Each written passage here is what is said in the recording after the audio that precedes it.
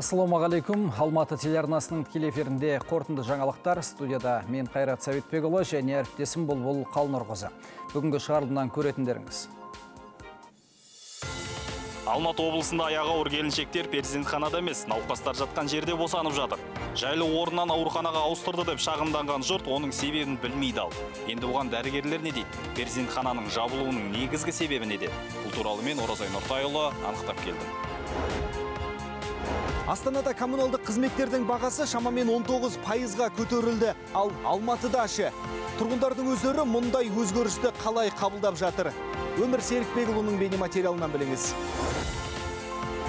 Бүгіннен бастап үлкен Алматы айналма жолымен жүру ақылы. Қай көлікке тариф қандай? Алматы облысында аяғы ауыр әйелдер перзентханада емес, науқастар бар ауруханада босанып жатыр. Толғағы келген келіншектер есіктегі талай нәресте дүниеге келген ғимараттың аяқ асты жабылып қалғанына наразы. Бұл қате шешім деген олар тыныш тұрған жерден жаңа орынға не себепті көшіргенін білмейміз де дейді. Мәселенің аныққанығын әріптесім Оразай Нұртай анықтап келді. Осыдан тура бір апта бұрын есігіне құлып салынған есіктегі перзентхана осы. Қазір енді бұл жерге келдік, айнала тым тырыс, күзетшіден басқа ешкімді байқамадық. Ол кісі бізді ішке қарай кіргізбеді. Айта кетсек, бұл ғимарат 2005 жылы салынған екен. Еңбекші қазақ аудандық ауруханасының басшылығы үш қабатты нысан күрделі жөндеуге жабылды дейді. Бірақ сыртынан қарап, ғимаратты апатты жағдайда деп айта алмайсың. Жергілікті дәрігерлердің сөзінше, перзентхананы көшірмес бұрын әкімдікке хабар айтқан. Барлығы заңды дейді начата подготовка старого здания. Қазір нысанға күрделі жөндеу жүргізуге және газ тартуға дайындық жүріп жатыр. Перзентхана 2005 жылы салынғандықтан аурухана әкімшілігі осындай шешімге келді. Барлығы ауруханаға ауыстырылды. Бұдан аудандық әкімдік те облыстағы басқарма да хабардар. Перзентхана жабылғалы аяғы ауыр келіншектер осы ауруханада босанады. Оларды балалар бөлімі, терапия мен хирургия бөлімі болған орынға орналастырған. Басшылығы бәріне орын жетеді деп сендірді, бірақ аяғы ауыр аналардың өзі оны жоққа шығарды. Менің өзім ойымша бекер көшіріп әкелінген сияқты. Өйткені ол жақта да кең, әйбат, үш этаж, үлкен, жақсы еді ол жақ. Енді мына жаққа келдік енді айналайтын жер жоқ. Кішкентай ғана алдында өзім барып келдім, көріп келдім ложный немен бардым схваткамен енді кішкентай тар бізге просто ана ватсаптан уведомление келді э, что мына жаққа көшті деп осында босанасыздар деп если что мына жаққа обращайтесь деп. Ана жақта роддом жақсы еді бөлек бәрінен. Он төртінші июльде көшті деп жатыр. Жабылған перзентхананы қашан жөндеп қашан газ тартып бітетіні айтылмады. Халық арасында ғимаратты басқа мақсатта пайдаланбақшы деген сыбыста тараған еді. Бұған қатысты аурухана басшылығы нақты жауап бермеді. Айта кетсек еңбекші қазақ ауданында 1500-ден астам аяғы ауыр тіркелген. Ал жақында ғана ауруханада ашылған босандыру орталығында 75 орын ғана жоспарланған. Қазірдің өзінде онда 68 әйел жатыр. Оразай нұртайұлы жақсылық тілеп берген алматы телеарнасы. Ақтөбе облысында 4 жастағы баланы тістеген түлкіден құтырма ауру анықталды. Бұл туралы Ақтөбе облысының ветеринария басқармасы мәлімдеді. 4 шілдеде болған жағдайдан кейін ауруханаға шұғыл жеткізілген баланың денесінде жара пайда болған. Қазір оның жағдайы қалыпты. Емдеу 28 күнге созылады дейді дәрігерлер. Ал түлкіні өлтірген. Осыдан кейін шаруа қожалығында 21 күндік карантин жариялан. Ауылдан мал әкеліп, ет сүт өнімдерін сатуға да тыйым салынып отыр готовится представление. Шаруашылық осы Қобда өзенінен 10 шақырым жерде орналасқандықтан аудандық инспектор ертемір шаруа қожалығында шектеу шараларын енгізу туралы шешім қабылдады. Біз қазір бұл ауданда екпе салу мен сауықтыру шараларын жүргізуді жоспарлап отырмыз. Қарағандыда екі жасар қыздың мұрнында бөгде зат шіріп, салдарынан құрт пайда болған. Ол мұрын қуысына абайсызда губканың бір бөлігін салып жіберіп, қайта шығармапты. Дәргерлер баланың тыныс мүшесінен оннан астам тірі құрт алған. Облыстық денсаулық сақтау басқармасының өкілдері ендігіде анестезия мен эндоскопиялық тексеруді жоспарлап отырмыз дейді. Алматыдағы кинотеатрлардың бірінде қолданылған шприцтер табылды. Куәгердің айтуынша бірінші қатардағы орындықтың астында шприцтер мен система шашылып жатқан. Әлеуметтік желіге жүктелген видеоға түрлі пікірлер жазылыпты. Бірі мұны айтывымен ауыратындар тастап кеткен десе, енді бірі нашақорлардан қалған дәйек бейне жазбадан анықтау керек деп жазған.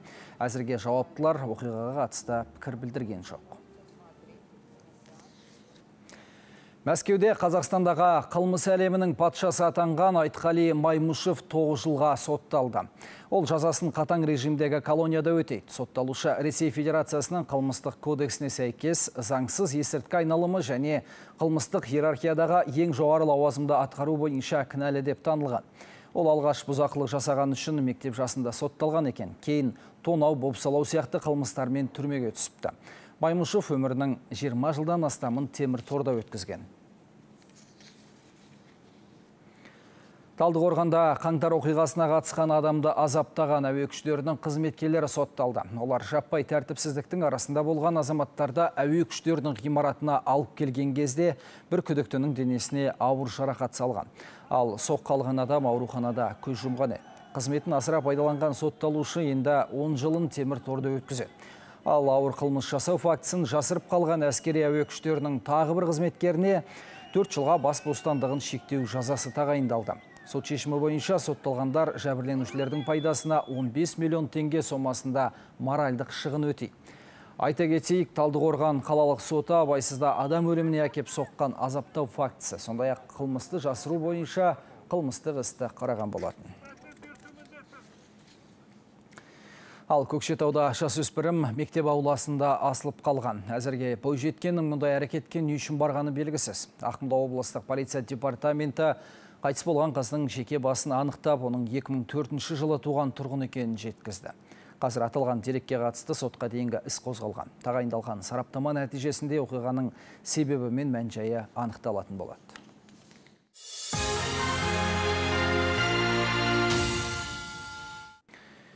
Ақтөбеде апатты деп танылған жатақхана тұрғындары далада қаламыз ба деп алаңдап отыр. Себебі тұруға жарамсыз баспананы жұрт жаңа үй салып береміз дегендерге босатып берген. Алайда құрылыс компаниясы үйді бүлшіктеп алып, жұмысты орта жолда тастап кеткен. Енді жұрт жаңа үй түгілі барымыздан айырылып қалдық па деп қамығып отыр. Әріптесім өрбітеді.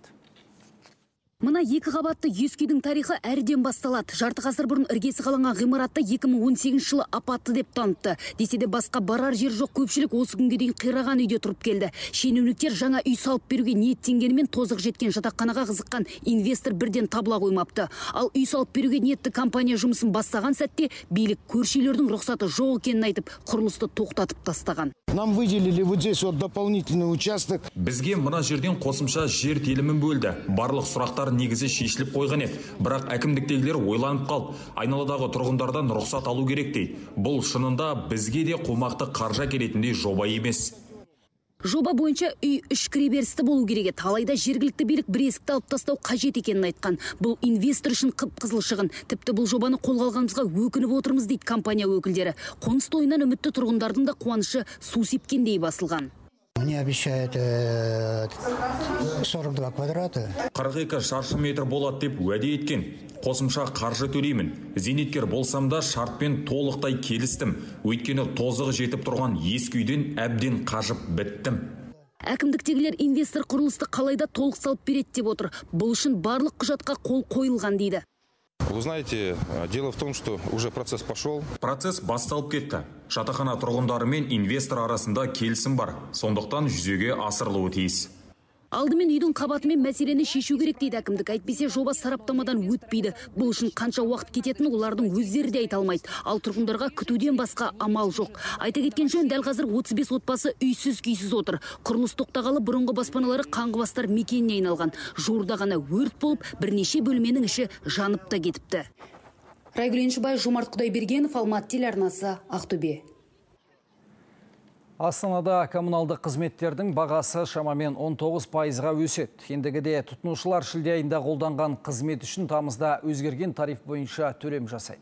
Жалпы Қазақстанда аталған қызмет құны көтерілетіні осыған дейінде бірнеше рет айтылған еді. Бірінші шілдеден бастап сол өзгеріс күшіне енді. Алайда тариф әр өңірде әр түрлі өзгеретін болады.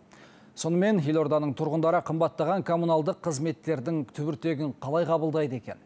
Өмір Серікбекұлы тарқатсын. Осы жылдың бірінші шілдесінен бастап Қазақстан бойынша коммуналдық қызметтердің тарифі қымбаттады. Баға бүкіл өңірде бірдей көтерілмейді.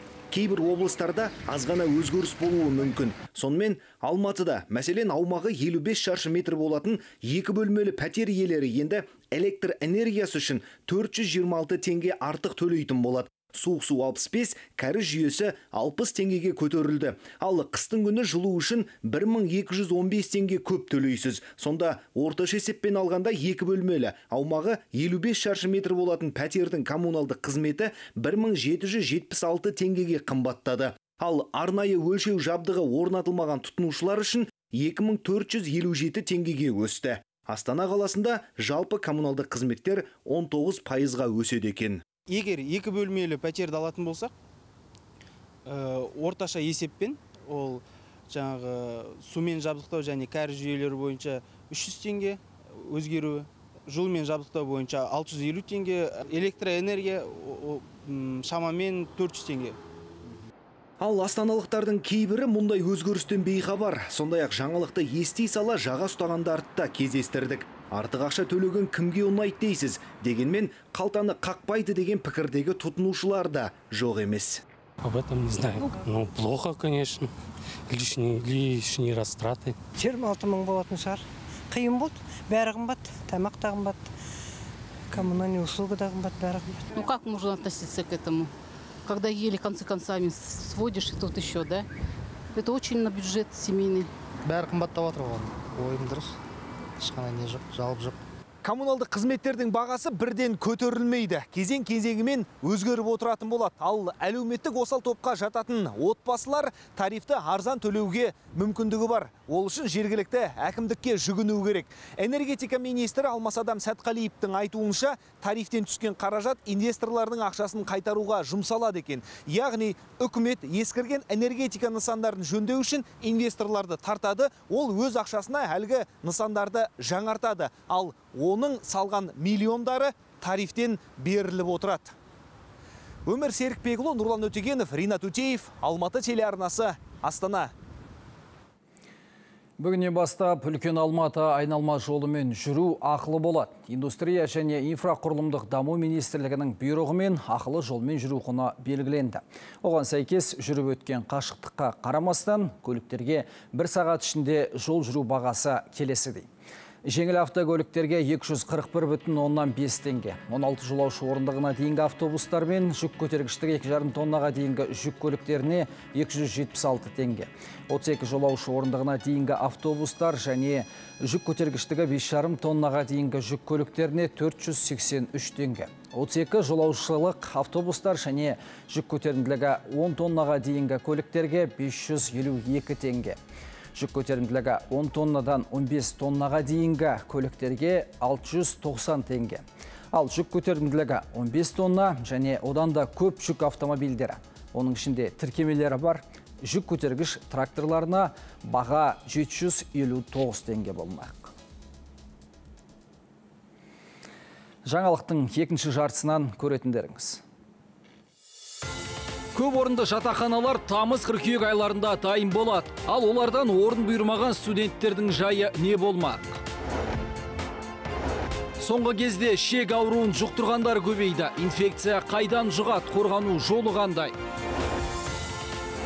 Жамбыл облысында дақылдар қурап диқандар шығынға баттық дейді. Су шаруаларға неге жетпейді? Ақпарат легін одан әрі тізбектейміз. Жамбыл облысы Меркі ауданының дихандары көмек сұрайды. Сөздерінше егіс алқаптары тіршілік нәрінен таршылық көріп отыр. Соның кесірінен тақылдар қурап шығынға баттық деп шаруалар шырп бар. Көктемгі күні үсік пен бұршақтан бүлінген егістіктеріне қайта қаржы салып егін еккен көпшілік бұл жола судың жоқтығынан қажыған. Мұнымен қоса мемлекеттен бөлінетін тиісті субсидияларды ала алмай отырған көрінеді. Шағым айтқан шаруалармен өңірдегі әріптесім Жомарт Есқара тілдесті. Қазір Жамбыл облысы бойынша алты ауданда қуаңшылық болып жатыр. Соның ішінде Меркі аудандағы зардап шеккен қант қызылшасы алқабының жалпы көлемі 941 гектар.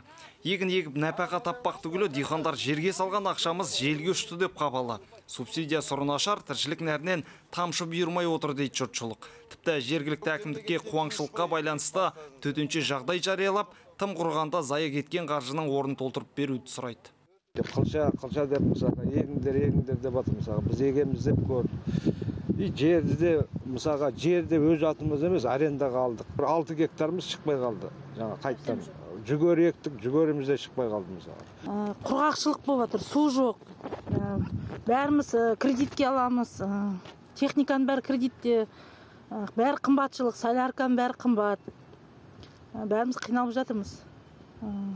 Бізге осы өкіметтен кішкене болса да бір бір көмек болса бар ақшамыздың бәрін жерге құйып отырмыз қазір. Құмға беріледі бізге субсидия? Одан ары гербицид пестицид акарацидтерге беру керек. Бірақ ол түгел берілмейді ол наименование соны кішкене порядокты қарастырса екен біз шығынданамыз қарыз аламыз оны аламыз сонда да чтобы сохранить э, урожайды аман алып қалу үшін. Меркі ауданының су жүйесі көршілес қырғыз мемлекетіне тәуелді. Келісімге сәйкес бір жарым текше метр су келуі тиіс. Бірақ биыл бір шелек су да келмепті. Оның себебі тау басына тақия болып тұрған мұздықтардың ерімеуі дейді аудан әкімі. Жағдай ушыққан соң күні кеше министрліктен құрылған комиссия тобы жамбыл жеріне зерделеу жұмыстарын жүргізіп кетіпті. Шығын көлемі көп деп танылса төтенше жағдай жариялануы мүмкін. Министрліктен құралған жұмыс тобы келіп кетті. Ол тек қана меркі ауданы емес бүкіл жамбыл облысын жұмыс істеп кеше жұмыстарын аяқ- аяқтады жұмыстарын бітірді біздің ауданда да қаншама зардап шеккен шаруалармен кездесті олардың алқаптарының бәрін көріп кетті енді анықтама негізінде шешім үкімет тарапынан қабылданатын болады Әкімдік төтенше жағдай жариялауға қауқарсыз ендігі кезекте шаруалардың үкіметке үкідей үміт артудан басқа амалы жоқ. Жомарт Есқара Алматы телеарнасы Жамбыл облысынан. Студенттерге арналған кәсіпорынды жатақханалар тамыз қыркүйек айларында қолданысқа беріледі. Алып шаһарларға арман қуып келген жастардың түгелін қамту үшін қонақ үйлер, сондай-ақ хостелдермен келіссөз жүргізіліп жатыр екен. Ғылым және жоғары білім министрі Саясат Нұрбек осылай деді. Естеріңізде болса, былтыр елде жатақхана тапшылығы қатты сезілген еді. өткен жылдың ә, тамызында 87 мың төсек орын тапшылығымен қабылдадық біз жағдайда. 55 мыңға дейін түсірдік осы 8-9 айдың ішінде. Ә, бірнеше бағытта жұмыс істедік. Біз біріншісі ол инвесторларды тарту үшін біздің қаржы орталығымыздың субсидиялар нормативтері өзгертілді. Ә, екіншіден ә, әр жоғары оқу орнының өзінің нақты жоспары жасалды. Тө- тө- төсек орындар тапшылығы айқындалды. Сонымен қатар министр қала орталығындағы бизнес нысандарды реконструкциялау арқылы жатақханаға айналдыру мәселесінің қаралып жатқанын айтты. Өзінің құндылығын жоғалтқан кәсіп иелерін ведомство басшысы пайда көре отырып жастарға қол ұшын созуға шақырды. Алматыда 35 оқу орнында білім алатын 180 мыңнан астам студент бар. Қалада қазір жалпы саны 98 жатақхана қолданыста, бірақ тағы 32 мыңға жуық студентке орын жоқ. Енді жауапты ведомство өкілдерінің бастамасымен бірнеше жоба қолға алынған, жүзеге асырылып жатыр. Елде жұқпалы ішек ауруларына шалдыққандар көбейген. Аталған инфекцияны жұқтырғандардың 80 пайызы балалар. Ал асқынса ақыл естің кемуіне дейін әсер ететін ауру неге өршіп тұр? Тақырыпты тілші толықтырады.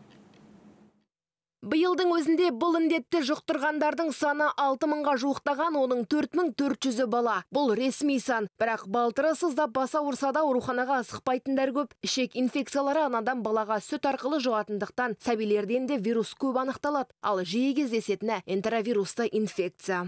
Асқазан ішек жолдарының қабынуымен көрініп табуы мүмкін дене қызуы көтеріледі балада құсу температурамен қатар іш өтуі байқалуы мүмкін Делер- денесіне бөртпе шығып жатады.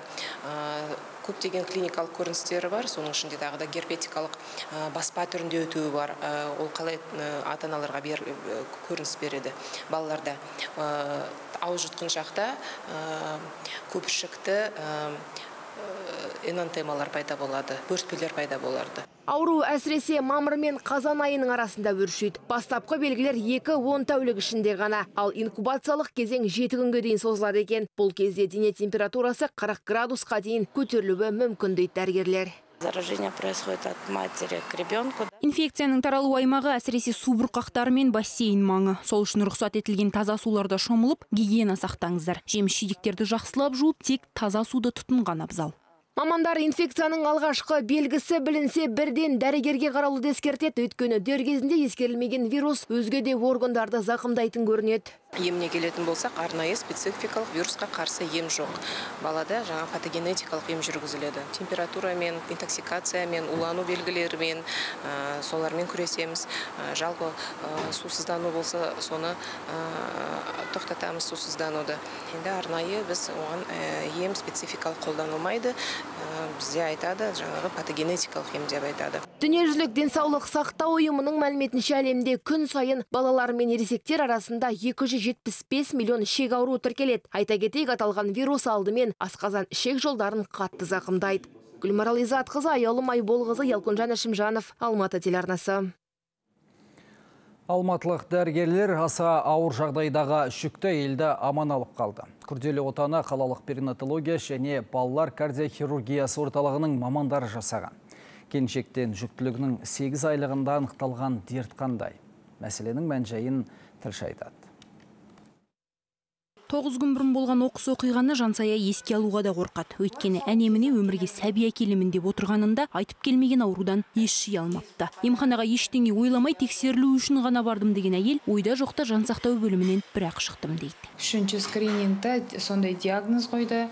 Отек пайда болды 180 ә, не не еді давление содан ос- осында приемнан сразу осы бассейноваға келіп түстім. И сразу кровотечение ашылып кетті и оперировали. Үш баламды жауып кеткен ғой үйге қазір мен приемға барып келемін сендер отыра тұрыңдар қазір тез ақ келемін деп. Вот сол тез ақ келемнің арқасы осы болды. Науқас ауруханаға түскенде дәрігерлер дертке себеп болған үш факторды анықтапты. Төрт сағатқа созылған күрделі отаны мықты деген мамандардан құралған бригада өткізген. Сондай ақ орталық өкілдері мұндай жағдай көпте кездесе бермейді дейді. Әсіресе анықталған аурудан адамды аман алып қалу күтпеген қуаныш екен. Операция кезінде ана анализдер талдаулары бойынша оғызда преэклампсия ауру дәрежесінің және асқынған түрі хелп синдром деген бар. Бұл хелп синдром өте үлкен ә, сирек кездеспейді часто кездесіп отыратын нәрсе бірақ бұны ö, ана өліміне өте үлкен мөлшерде пайызда ана өліміне келіп соқтайтын жағдай болады. Қиындықтарға қарамастан сау бала дүниеге келді. Дегенмен босанғаннан кейін жас ананың ес жиюы үш күнге созылыпты. Орталық мамандары өткен жылдың өзінде тоғыз мыңнан аса әйел өмірге сәби әкелді дейді. Оның үш жүзге жуығында преэклампсия диагнозы байқалған. Ең қиыны қазір бұл ауру жүктілік кезінде жиі кездесетін дерттің көшін бастап тұр мадина оқас айдана нұраш сағындық нарықов алматы телеарнасы Қазгидромет демалыс күндері күн райын болжамын жариялады. Ақпарға сүйінсек, алдағы күндері Қазақстанның бірқатар өңірінде жаңбыр жауып, найзағай ойнайды. Екпінді жел де соғады. Дегенмен Алматы мен Шымкентте ыстық ауа райы сақталмақ. Синоптиктер Шымкентте көшпелі бұлт жел болғанымен температура күндіз 36 градустан асады дейді. Алматыда да жағдай осыған ұқсас. Оңтүстік Астанада аптап ыстық байқалғандықтан мамандар азаматтарды сақ болуға шақырады. Құрметті көрермен, бөлісер қызықты маңызды ақпараттарыңыз болса, төменде көрсетілген редакция нөміріне хабарласыңыздар. Бүгінгі айтар бұл соңғы ақпар. Мен өздеріңізбен қоштасамын. Аман сау болыңыздар. Қайраттарыңыз қажымасын.